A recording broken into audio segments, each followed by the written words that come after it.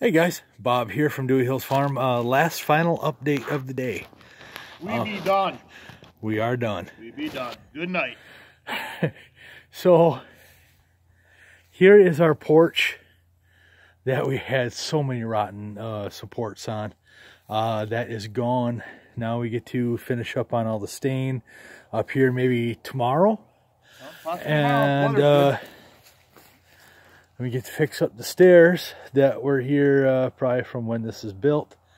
Um, then, right after that, we're going to be off to take care of uh, part of the shed.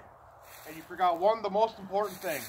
What's that? Spend time with your family That's right. and go hunting and fishing. Amen. Uh, earlier today, we are out. Uh, there's my boy. Ah, yeah, there we go.